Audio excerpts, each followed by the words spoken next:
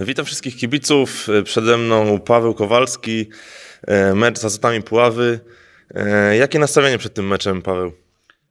Jak, jak zawsze bojowe, no mam nadzieję, mam nadzieję, że trzy punkty zostaną w Stegu Arenie.